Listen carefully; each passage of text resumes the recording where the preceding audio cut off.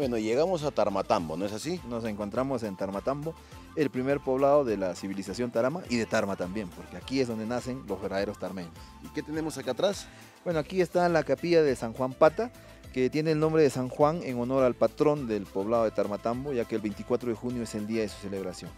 Me decías que esta fue, es la primera capilla que, que ha habido acá en el Perú, ¿no? Sí, es la primera capilla de estilo español, eh, católico en, en la- en el Perú, que también es llamado el cementerio de la Breña. ¿Qué vamos a ver acá? Bueno, ahorita tenemos la capilla de San Juan Pata, luego vamos a tomar la parte para poder apreciar el camino del Inca, el mismo Capacñán que viene desde Tucumán, Argentina y va hasta Pasto, Colombia, parte de las colcas que han sido reconstruidas, eh, donde guardaban antes la, la producción, el templo del Curaca, la Cayanca, el Ajiahuasi, el templo de las escogidas y el cementerio de la Breña. Es un recorrido muy bonito. Vamos. Vamos, vamos. Ya está, empezamos. ¿Cuánto tiempo de caminata es más o menos? Un promedio de una hora y media.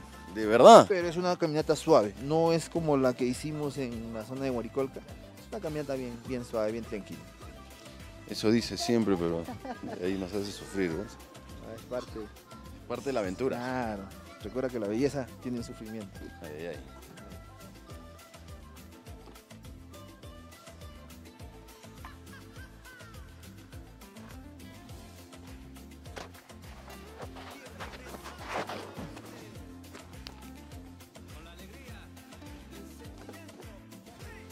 Bueno, y llegamos a los caminos del Inca. Así es, nos encontramos en el Capacñán, en el camino del Inca.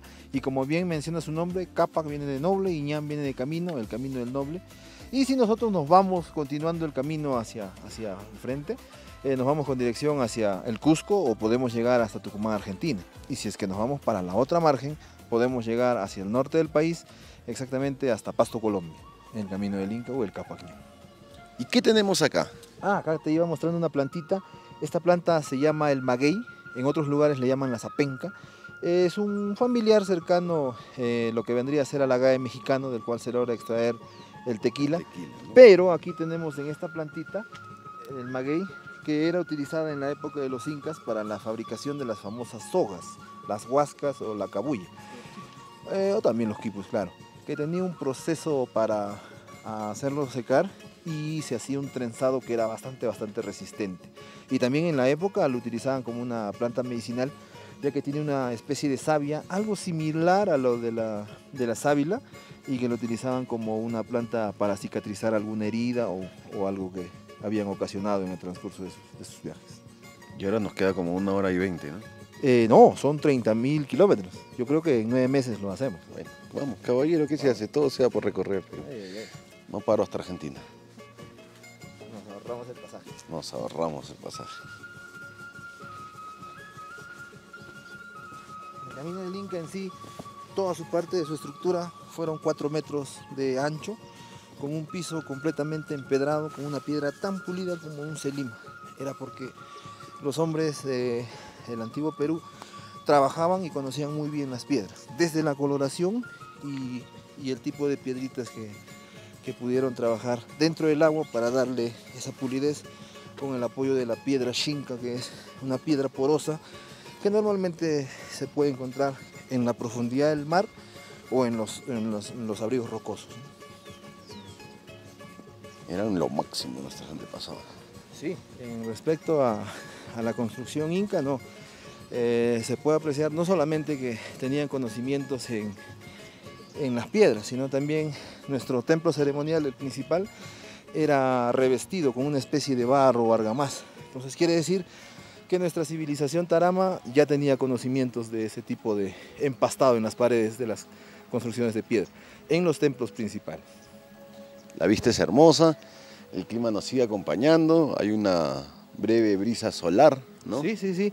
Y aparte se ve muy bonito Tarma adornada con, con bueno, nuestros andenes o paterías y también el maíz que de esta zona de Tarmatambo es uno de los productos banderas. Tenemos el choclo que es el famoso diente de mula que le llaman, bastante, bastante lechosito, bien rico. Ayer nos invitaron un choclo con queso, pero que estaba oh, como cañón. ¿No es así, que qué? Estaba riquísimo, estaba. Sí. Y también tenemos el chulpi o el jaspeadito que es especialmente para la canchita, ¿no? también muy, muy bueno. No, y encima comimos en la Pachamanca que nos vino el, este, el de choclo, ¿cómo se llama? El dulce, el, la humita dulce, Ah, que sí, Quique sí. no dejó ninguna. Probé un pedacito y Quique se comió todo. eh. Sí, sí, no, la humita es uno de los, de los, manjar, de los manjares típicos eh, que tenemos en Tarma. pues, Bueno, después de esta caminata de hora y media, creo que me voy a merecer mi humita, ya que ayer no pude probar, pero ni la panca. Oh, yo creo que sí, yo creo que sí, Dios mediante. Vamos. Y así dice Quique que quiere hacer dieta, que se cuida. Es de temer. Quique es de temer.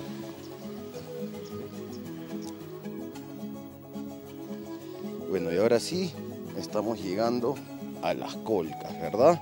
Estas colcas son reconstruidas, ¿no? Sí, fueron reconstruidas en un proyecto que se dio hace unos años atrás y que, bueno, estamos volviendo a recrear lo que vendría a ser el punto de almacenamiento de la producción de nuestra civilización. Ahora sería nuestra refrigeradora, Claro, claro, refrigerador. nuestra alacena. Así es, y era el lugar donde se almacenaban los productos por- durante un año. Y no solamente eran de este aspecto rectangular, sino también habían colcas que eran de forma circular, que eran para guardar otro tipo de productos como la papa, la oca, la mashua, la kiwicha, entre otros. La naturaleza, bueno, por el clima era que se mantenía todavía bien por un año. Claro, sí, por el clima y porque también tenía en las partes medias de ambas construcciones, eh, se puede encontrar aún parte de ingresos de aire, de tomas de aire, que tenían una toma como en corte de T y alimentaba de aire a los dos, a los dos, este, a las dos colcas que se encontraban. Y como te comentaba Joel, eh, las dos colcas se encuentran separadas porque si una caía de repente con plaga, era más fácil de poderla eh, remediar, re- re- resolverle el problema. ¿no? Y si vemos también en la parte baja tenemos el, el ingreso de aire, un ducto de aire que llegaba más o menos hasta casi la mitad de ambas paredes y se dividía eh, con una conexión como en una letra T y alimentaba de aire para la colca del lado izquierdo o la colca del lado derecho. Y si nosotros también sentimos el, el estado del clima, el viento, viene desde ese lado para este ingreso. ¿Y eso servía para qué? Para que se mantenga todo eh, fresco. Claro, para que se mantenga fresco. Existieron 52 colcas en los tres conjuntos que se mencionó y que cada colca tenía un guardián, era una persona que se encargaba exclusivamente al cuidado. Si es que esta colca caía en plaga, ese guardián era muy probablemente que conseguía la muerte. Y no eran llenadas quizás hasta como podríamos decir, como un almacén completamente lleno. Tenía una forma. Eh, primero ponían una capa de, de paja, de ichu, luego ponían capas de muña, una planta que ya les voy a mostrar más adelante. Que es la que se hace la infusión, la Ah, muña, sí, ¿no? la infusión y que es una muy buena preservante.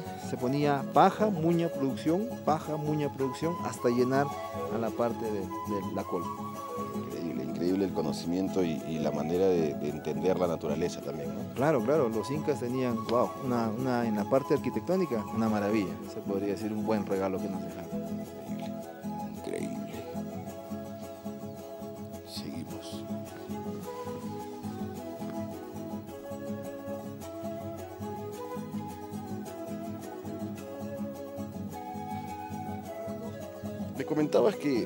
Esta forma de los escalones, bueno, está reconstruido, pero así era eh, también en la época antigua, ¿verdad?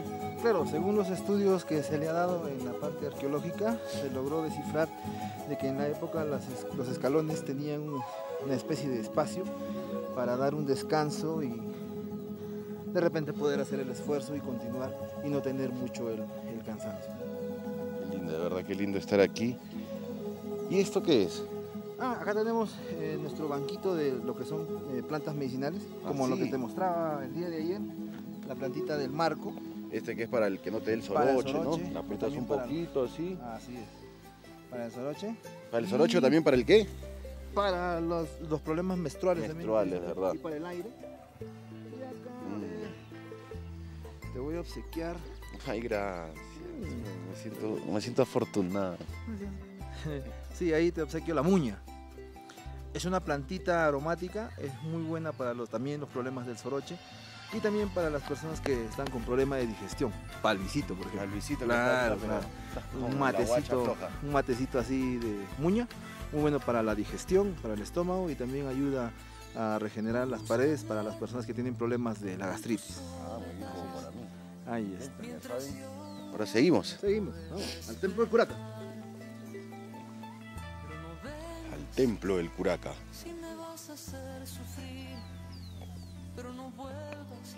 Bueno, llegamos a la Yaguasi, ¿verdad? Que según lo que me dices, eh, significa el templo de las escogidas. Sí, se, se llama el Templo de las Escogidas porque aquí fue el lugar donde eran traídas las doncellas eh, de aproximadamente de 7 hasta los 20 años y era donde ellas recibían el proceso de adiestramiento para que ellas sean futuras gobernantes de las localidades, ya que cuando cumplían la mayoría de, de edad, ya promedio de 18, 19 a 20 años, venían los hijos de los huracas de otras localidades y, y venían y escogían a la mujer para llevársela pues a, a que cumpla con las funciones y enseñar el desarrollo del pueblo como buena madre.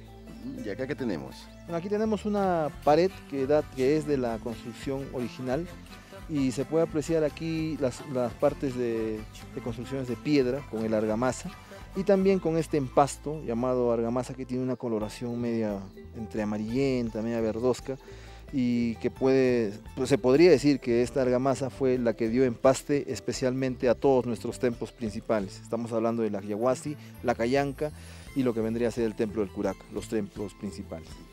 ¿Y qué tienes en la mano? Ah, mi plantita del marco, que siempre la llevo conmigo porque es muy buena para el soroche y de repente por ahí, si Quique o tú te, puedes, te quieres desmayar, Ahí está. El resucitador. Para El resucitador. del carro a, a- a Luis, que está desmayado. El, resucitador 3000.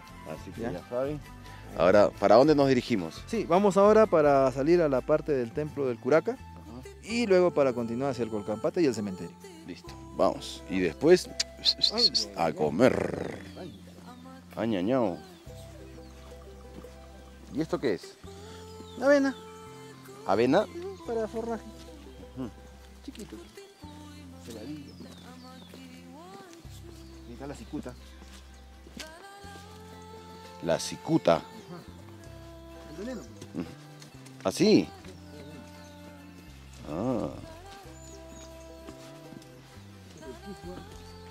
el kiswar. Sí, el kiswa. ¿Para qué es el kiswar? Esta plantita es antipoliante. Así. que es un antipoliante. Es muy bueno para, por ejemplo, lo hacemos hervir, bota como una especie de líquido medio marroncito, lo llenamos en una botella y con un rociador para lo que vendría a ser la ropa, para que no se apolille. O también en San Pedro de Cajas, donde hacen los trabajos artesanales, la utilizan para que las, los tapices que vimos el día de ayer no se apolillen también, O también las esposas le echan a sus esposos para alejar a las polillas. para también. que no le sigan. Claro. Y tiene un lado malo, el lado malo es el polvillo blanco que logra botar. Eso las personas que la sacan para obtener la materia tienen que venir con los lentes de seguridad porque si no te deja los ojos ecológicos. Rojo. O con nube o con catarata.